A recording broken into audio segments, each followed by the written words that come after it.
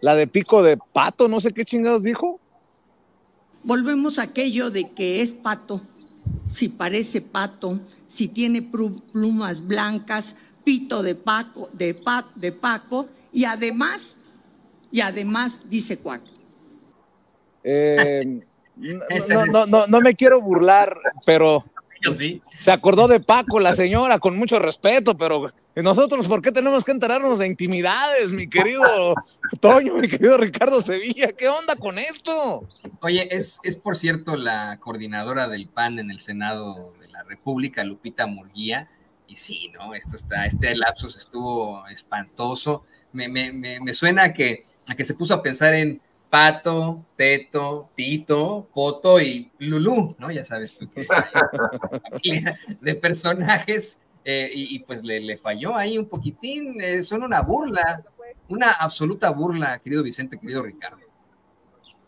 Patinó, patinó un poquito, no hay que culparla. Miren, eh, la ignorancia es una construcción mental. A lo mejor, como decía Borges, hay que brindar por las palabras que semejan sabiduría, pero también la ausencia de palabras, sobre todo cuando se supone que tú aprendiste un lenguaje en sociedad para convivir con ella y para expresarte ahí, pues oye, utiliza palabras. No estamos hablando de que utilice construcciones filosóficas demasiado abracadabrantes, no.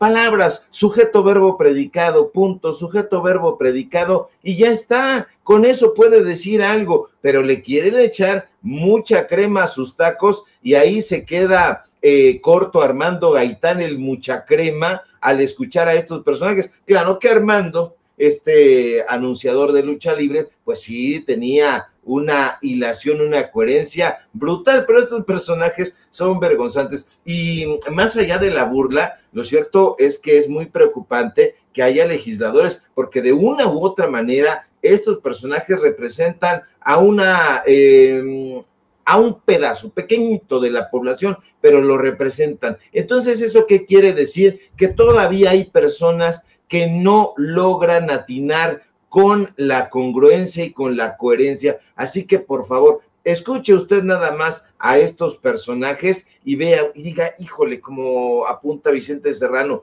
da pena, da vergüenza y da penita ajena. Así que mejor ya Úscale, que se vayan a otro lugar y que hay auténticos legisladores como los que están apareciendo ahí, van a decir, híjole, Sevilla, este, vas a, a lanzar una adulación ahí, pero hay de legisladores a legisladores, mi querido Vicente, no quiero dar nombres, no se me vaya a escapar ahí el de Gerardo Fernández Noroña, porque luego van a decir que lo estoy adulando, pero no, es que hay una honda diferencia Así que mejor ahí dejamos el apunte.